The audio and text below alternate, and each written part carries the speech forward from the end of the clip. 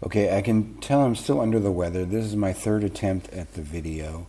Uh, first time I talked for about five minutes before I realized I had headphones plugged in but not in the sound near my voice, so there was no sound. So I stopped the video, deleted it, started again, made the same mistake. So this time I've actually got sound.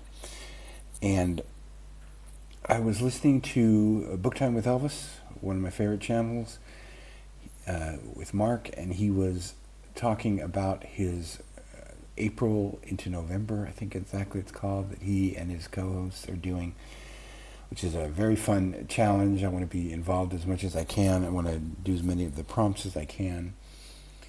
But I have my other rule, which is my 100 book challenge, which is what I'm really trying to do, is just not download any more books, even free ones. I'm just reading what's on my Kindle and uh, what's on my library holds list. So I go searching because many times I have so much crap on this Kindle. I mean, so many old gems on this Kindle that a lot of times I have, I have what's what's what's coming. So I was hoping I, I would have H. Rider Haggard's She, which they're going to read, but I don't. I do have Captain Blood, so I'm going to read that as a novel instead.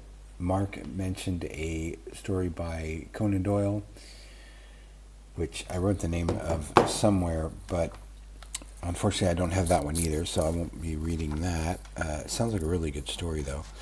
There was a story that I read that some of the folks read there that was suggested by one of the other hosts. And I didn't make notes because I thought I was just going to get through this really fast. It's Linolin, I can't remember the name, Linolin versus the Ants.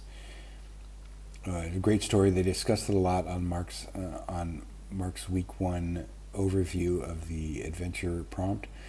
As I'll link to that video too. Boy, I'm making a lot of promises here about what I'm going to link to, aren't I? So I didn't find any of those stories. I thought, well, maybe I've got something on there I, I can read. So I was just Googling. I mean, I was just uh, putting in random searches like adventure and And I thought, well, I must have at least the most famous adventure story, what I would call the most famous adventure short story of all time. And maybe it isn't, but it's what I think of when I think of that genre of pulp adventure, as opposed to, like, say, science fiction or fantasy or whatever. And, and that is the most dangerous game. But I've read that a few times anyway, so I don't really need to be reading that. What I found instead was all these mega packs. Don't know if people are familiar with these. If you're if you're a Kindle nerd, you might be. Just look out of focus, but maybe it's because I don't have my glasses on.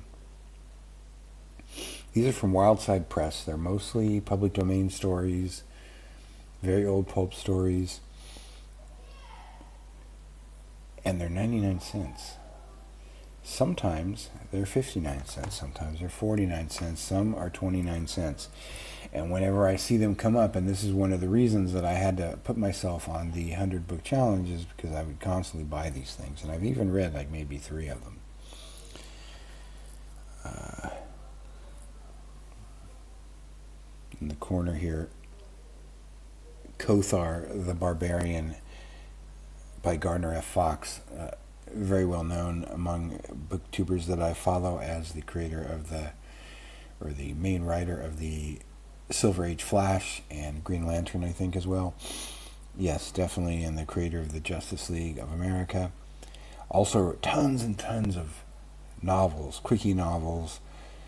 He did a couple of Barbarian series, a couple of, uh, you know, Robert Howard inspired uh, Sword and Sorcery series bunch of kind of sexy exploitation driven James Bond era things like the the lady from Lust was one I read a couple of. Lust is, stands for is some organization like Spectre I guess or you know it's like L period U period S period T period Lust. And she's a female James Bond kind of person. You know they're a mixed bag but they're really fun. The titles are more fun than anything. So I've got tons of these things Here's one I actually read the whole mega pack, the Pulp Fiction mega pack, not politically correct. You have been warned. 25 classic pulp stories. Classic there is a um, misnomer, and I'll go why, uh, go into why in a minute. Anyway, apes, sex fiends, gangsters, mad scientists, tentacles. This mega pack has it all, including, as you can see here, an orangutan hanging from a zeppelin fighting a, um, somebody dressed as, as either like a pilot or an Arctic explorer. I don't particularly remember this story. Here we go. Bride of the Ape. Blood bait for hungry mermaids. Ship of the Golden Ghoul. Black pool for maidens. The Scalpel of Doom. Satan Drives the Bus by Wyatt Blassingame. When Super Apes, Apes Plot by Anthony Wilder. So there's two different Super Ape ones in here, so that could... Oh, Bride of the... Oh, no, I think I said that. The Dogs of Purgatory. At the bottom here, there is actually a, a, a pretty well-known uh, pulp author, Hugh B. Cave. The Floating Island of Madness. The ape, the ape man of Jloxti. Okay. Oh, here we go. The Terrible Tentacles of L472 by Sewell Peaslee Wright. Sewell Peaslee Wright, the well-known Sewell Peaslee Wright, who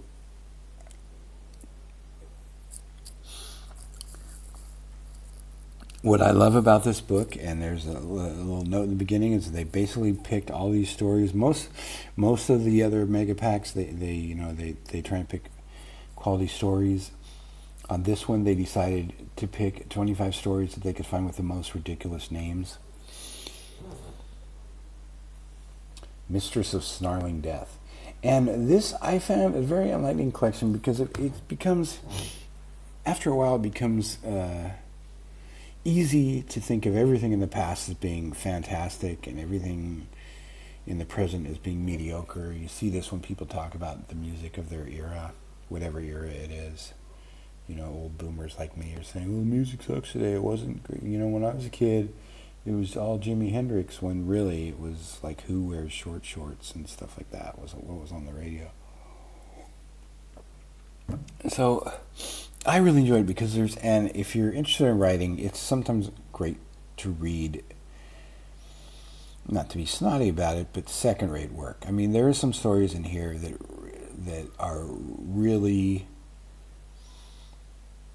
you know, there's, there's a lot of Island of Dr. Moreau ripoffs. There's a lot of like a, a guy is just fishing in a swamp and sees uh, a bunch of swarthy foreigners or something like that um, abducting a half uh, naked woman who's somehow in the swamp for some re reason too and so of course he wants to rescue her and he goes along and I don't even remember which story this is but it is one of them you know follows her to this this mad scientist place where he's where the mad scientist plane do some experiment on her and so for every Robert Howard, there's like a hundred of these people. For every Lovecraft, there's a hundred of these people. Uh, there's a really silly story about maybe oh oh fiance fiancés for the devil's daughter. And that story by by uh, Russell Gray starts out as one completely sort of setup and just about halfway through I think he ran out of energy or he decided it wasn't going to work out. It seems like he just switched it to a different kind of story. So these are these are filler. This is stuff that you know, this is probably more of stuff of what people think all the pulps were like. You know, there's real there's some of the greatest writers of in American history have been pulp writers.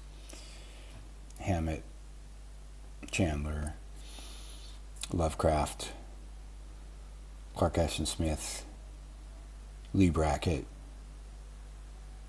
you know, just goes on and on. Howard, of course. Um, but these are really fun to read. And so I realized I had that on here and I thought, I'm not going to read any of these again. But I am going to find something in here. I know I'm going to find some kind of short story in here to read that's going to qualify as a mystery. There's oh, I have the book. Okay, I read those. I want to read. I want to read those Kothar the Barbarian mega packs again. Um, Sea Stories mega pack. That might be. Oh, oh, here's a Conan Doyle one. The little square box. All aboard to the captain on board serial. That's promising. That might be a, a adventure story. So I don't know what I'm going to end up reading for my adventure story. I'm confident I'll find something in here. Oh, here we go. This has got to be it. The Jungle Story Mega Pack. Otis Albert Kline. Otis Adelbert Kline, who was, I believe he was also a literary agent, as as as well as being known as like the world's biggest uh, Burroughs ripoff guy. He, he, wrote his own Mars series. Um, but I kind of want to read a, a, a, short one, the call, the Call of the Savage by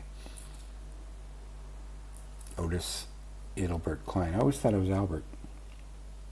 I think this is probably a novel. Also published as Jan of the Jungle. So let me guess who this uh, character is inspired by that's all I wanted to say. I want to talk about that and what I'm going to do for adventures. Uh, I can't read the H. Rider Haggard story because I don't have uh, she. They're doing she as a, gr- a group group read, and I do want to stick to just reading stuff on my Kindle, or I'm never going to get through this hundred book challenge if I keep downloading more free stuff. Uh, also, they're talking about watching a movie. I believe Marcus Marcus said he's going to watch The Man Who Would Be King, which is a great movie. I don't know if he's seen it before. I think he probably has. I haven't. See if I can find that Kipling story. I don't think I've read The Man Who Would Be King. I've definitely seen the movie, and I probably, if I do find the story, that would be a good one to read. But I don't think I have a Kipling on here.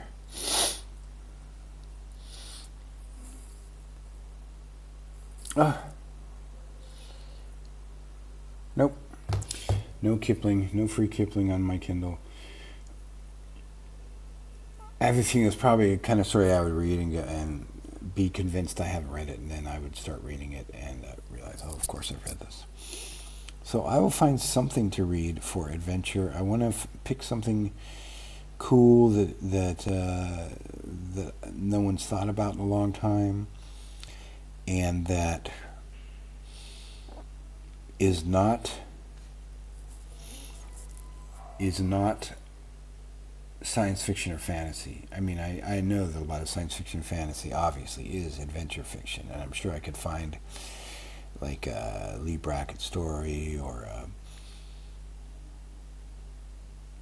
or you know a Harry Harrison story or, or something that's definitely qualifies as adventure, a Jack Vance story or something, anything, but I've got all these. Anyway.